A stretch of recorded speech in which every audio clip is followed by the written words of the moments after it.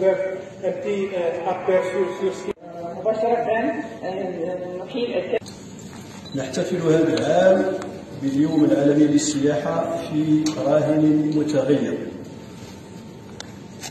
تعتبر فيه منظومة الاقتصاد المعرفي المحرك الرئيسي للنمو الاقتصادي الشامل.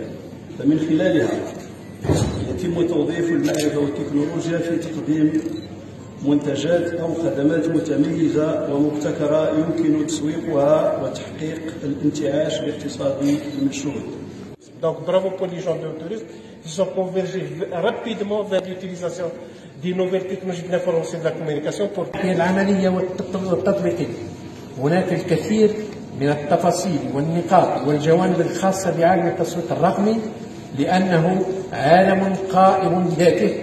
يحتاج إتقانه بالشكل الاحترافي إلى نفس طويل في الدراسة والتدريب والتمرين وعليه فإذا فإن هذا المكان هو الأنسب لمناقشة مدى مساهمة التسويق الرقمي في تنشيط السياحة المحلية عبر الوطن. يتعلق بعناصر الإنتاج المنخفضة جدا. إذا الإشكال أيضا يرتبط بعنصر المورد البشري كما سبق وأن تحدثت أن هذه المنظمة المنظمة الوطنية للتنمية الاقتصادية لديها اتفاقات هامة بداية من وزارة التعليم العالي وكذلك وزارة التكوين المهني رئيس الملتقى الوطني حول أهمية التسويق الرقمي في التأثير على سلوكية السائح الجزائري تجاه السياحة الداخلية الذي تنظمه مديرية السياحة بالشراكة مع جامعة العربية تبسي يهدف هذا الملتقى للبحث في إشكالية مدى مساهمة التسويق الرقمي في جذب السائح المحلي قبل السائح.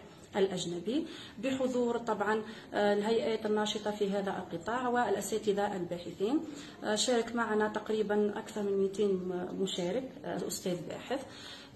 من 34 ولاية نظمت مديرية السياحة والصناعة التقليدية بالشراكة مع الجامعة العربية تبسي آه، ملتقى وطني مشاركة فيه 34 ولاية وأكثر من 200 باحث حول تأثير آه، الرقمنة السياحية على سلوك السائح الداخلي.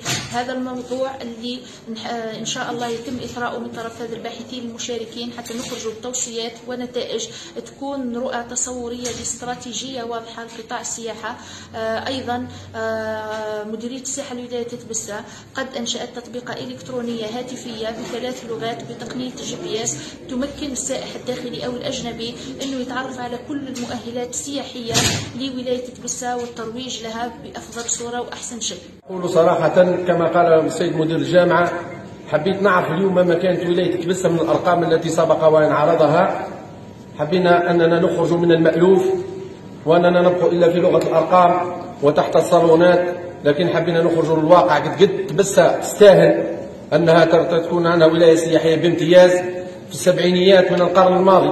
راهي احتفلت ولاية تبسة ب tour de France. كانت قبلة للسواح نتمنى إرجاع لتبسة مكانتها لما تكتسيه. من عدة أمور التي تجعلها ولاية رائدة في القطاع السياحي. ومن هذا المنبر أدعو الجميع الحضور. كلهم بدعوة المستثمرين إلى الاستثمار في تبسة وخاصة في المجال السياحي. كما أدعو جامعة تبسة إلى التنسيق مع مع مديرية السياحة للتعريف بولاية تبسة وهذا ما سنعكف عليه كمجلس شعبي ولائي لترقية السياحة في ولايتنا لأنها بديلا للبترول والريع البترولي.